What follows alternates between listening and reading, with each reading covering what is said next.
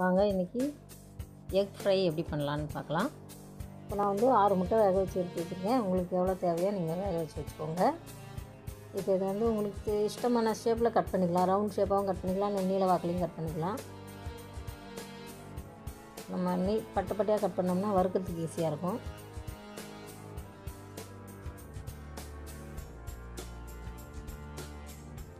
இந்த மாதிரி கட் பண்ணி வச்சுட்டு எக் ஃப்ரை பண்ணி கொடுத்தீங்கன்னா பசங்க குழந்தைங்களுக்குலாம் ரொம்ப பிடிக்கும். நீங்கள் இந்த மாதிரி செஞ்சு கொடுங்க ஒரு தடவை.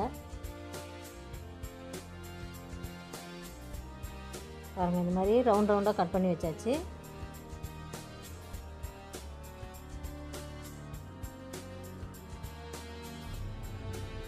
அடுப்பை வச்சு தோசை தவா வச்சுக்கலாம். ரெண்டுலேருந்து மூணு ஸ்பூன் எண்ணெய் ஊற்றிக்கோங்க ரெண்டு சிட்டிகை மஞ்சத்தூள் ஒரு அரை ஸ்பூன் வெறும் மிளகாத்தூள். கரம் மசாலா பொடி ஒரு ரெண்டு சிட்டிக்கை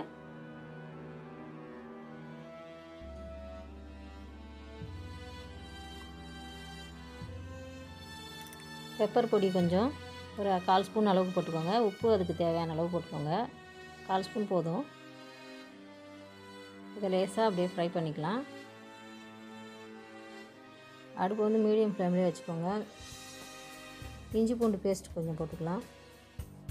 எல்லாம் சேர்த்து நல்லா வதக்கி கொடுங்க மசாலாவோட ஸ்மெல் வந்து நல்லா வரும்.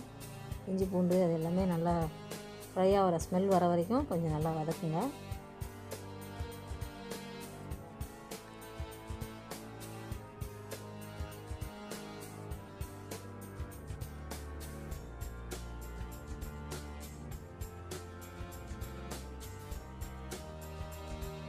இப்போ அதில் இந்த முட்டையை வந்து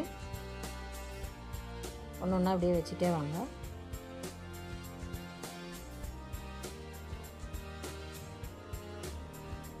ஒரு ரெண்டு நிமிஷம் அப்படியே இருக்கட்டும். அதுக்கப்புறமா ஒன்று ஒன்றா கொஞ்சம் அப்படியே திருப்பி போடுங்க. மசாலா எல்லா இடத்துலையும் பரவுற மாதிரி கொஞ்சம் திருப்பி போடுங்க. முட்டையை வந்து அந்த மஞ்சள் கருது தனியாக போயிடாமல் மெதுவாக எடுத்து திருப்பி போடுங்க. தோசைகளில் ஃப்ரை பண்ணி எடுக்கும்போது முட்டை வந்து நல்லா டேஸ்டியாக இருக்கும். ரெண்டு பக்கம் திருப்பி போட்டு எடுத்துகிட்டு அடுப்பு ஆஃப் பண்ணிவிட்டு கொத்தமல்லி இலை கொஞ்சம் தூவி விட்டுருங்க.